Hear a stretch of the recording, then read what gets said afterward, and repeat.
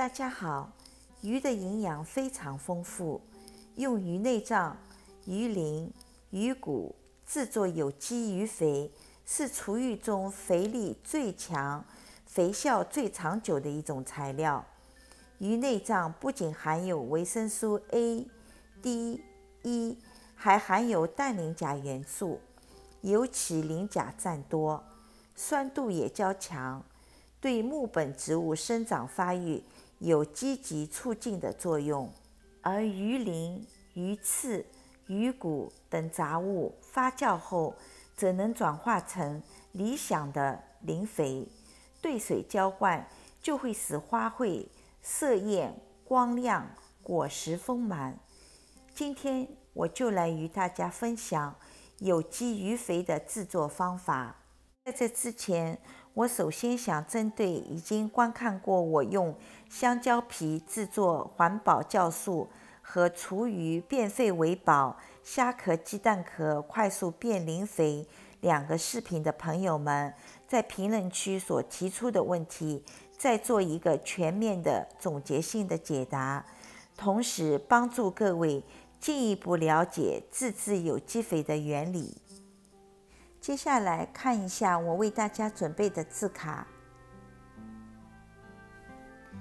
环保酵素技术是泰国有机农垦协会创始人乐苏坤普潘温博士经过三十多年努力所研发的一种果皮素菜厨余酵素，通称为垃圾酵素。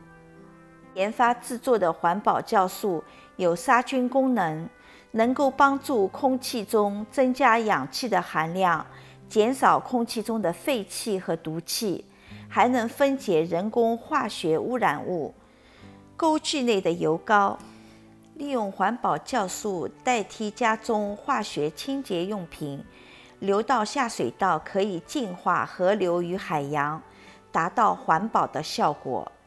普潘翁博士曾多次协助泰国。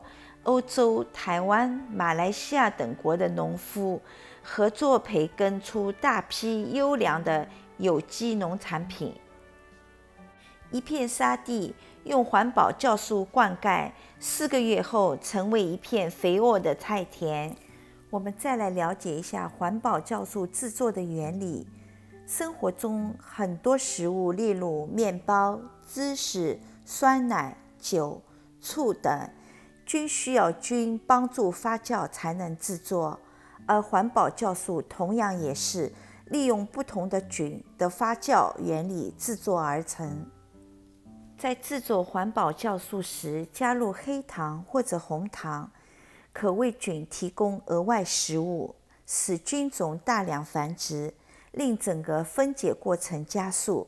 在制作过程中，虽然我们未能亲眼看见菌种，但初期释放出的大量气体以及带微酸的酒香味儿，足以证明它们在工作。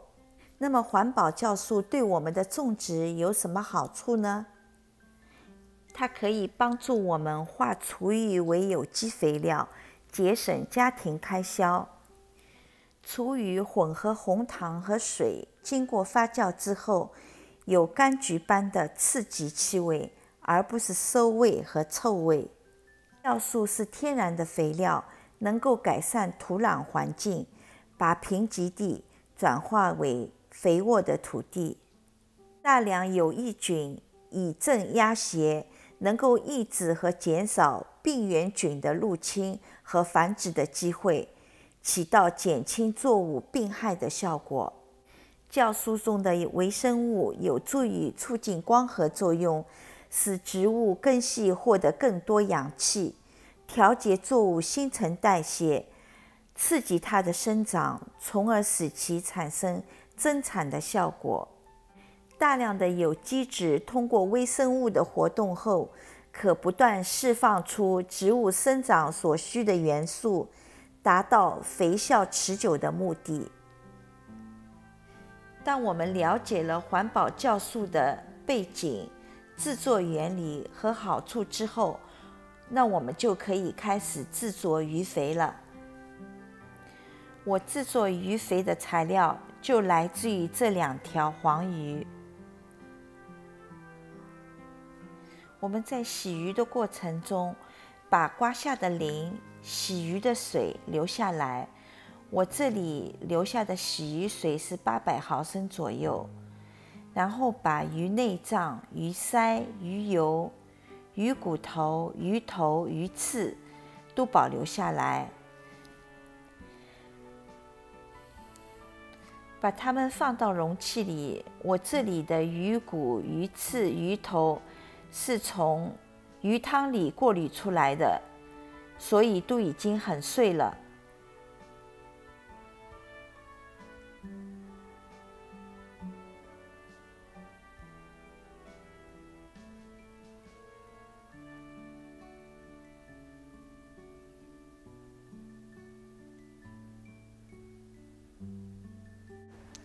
这个是我一个多月之前做的玫瑰花酵素，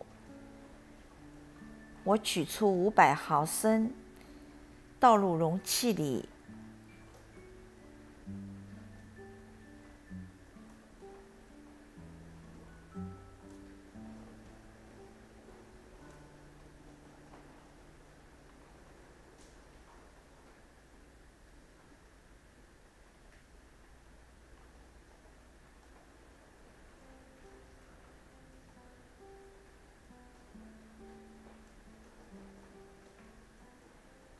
我再把玫瑰花酵素倒入制作鱼肥的容器里，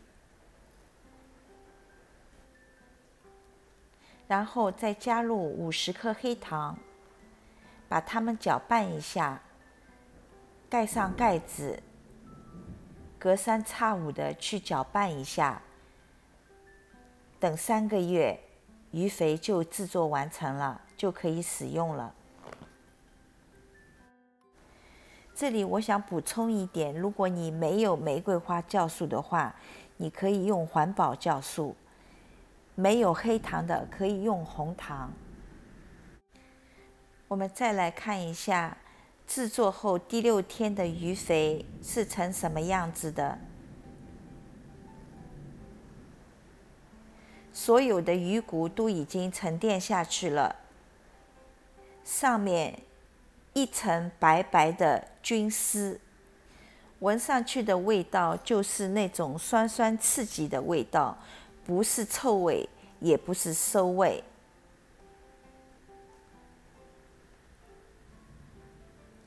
好，今天的视频就分享到这里。如果你喜欢我的视频，请您为我点赞。订阅和分享我的频道。如果你有任何疑问，请你在下方留言，我会尽快的回复你。谢谢你的收看，我们下期再见。